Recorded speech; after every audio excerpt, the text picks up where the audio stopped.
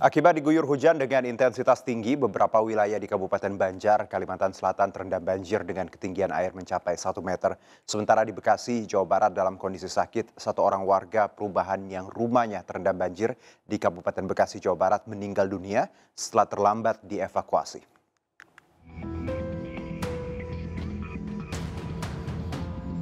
Diguyur hujan dengan intensitas tinggi, beberapa wilayah di Kabupaten Banjar terendam banjir dengan kedalaman air hingga 1 meter merendam permukiman warga. Salah satu wilayah terendam banjir yakni Desa Sungai Raya Simpang 4 Banjar, Kalimantan Selatan.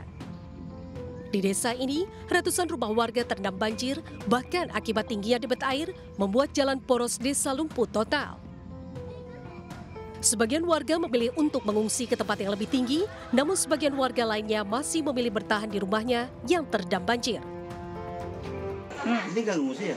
Enggak. Kenapa? Kalau masih dalam nanti ngungsi juga.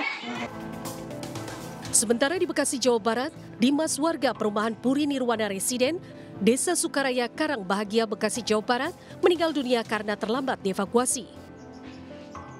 Menurut tetangga korban, awalnya korban menderita sakit darah tinggi dan meminta dievakuasi menggunakan perahu karet untuk dibawa ke rumah sakit. Karena minimnya perahu karet serta datangnya perahu karet terlalu lama untuk mengevakuasi korban, akhirnya korban meninggal dunia sebelum mendapatkan perawatan. Itu kondisi pas mau dievakuasi itu sempat nggak sadar atau gimana? Nggak sadar.